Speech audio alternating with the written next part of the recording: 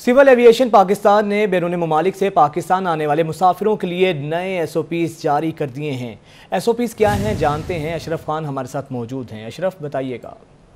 नई एस के तहत जो है बैरून ममालिक से वतन आने वाले छह और बारह साल के बच्चों को भी अब पीसीआर टेस्ट और आमद पर रैपिड कोरोना टेस्ट के मराइल से गुजरना होगा। और नई एस पर नौ अगस्त से नाफिज और अमल होगी। छह और बारह साल उम्र के बैन अवी परवाजों के मुसाफिर बच्चों को कोरोना मुस्बत होने पर सरकारी निगरानी में घरों में क्वारंटाइन किया जाएगा। ये सिविल का कहना है। और बारह साल से जायद उम्र के कोरोना मुस्बत बच्चों को मखसूस क्वारंटाइन सेंटर में मुंतकिल किया जाएगा।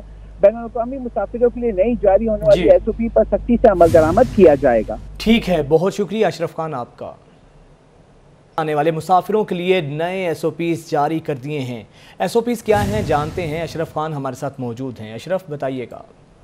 नई एसओपी के तहत जो है बैरून ममालिक से वतन आने वाले छह और बारह साल के बच्चों को भी अब पीसीआर टेस्ट और आमद पर रैपिड कोरोना टेस्ट के मराइल से गुजरना होगा और नई एस ओ पी पर नौ अगस्त से नाफिज अमल होगी। छह और बारह साल उम्र के बैन अवी परवाजों के मुसाफिर बच्चों को कोरोना मुस्बत होने पर सरकारी निगरानी में घरों में क्वारंटाइन किया जाएगा। ये सिविल एविएशन का कहना है और बारह साल से जायद उम्र के कोरोना मुस्बत बच्चों को मखसूस क्वारंटाइन सेंटर में मुंतकिल किया जाएगा।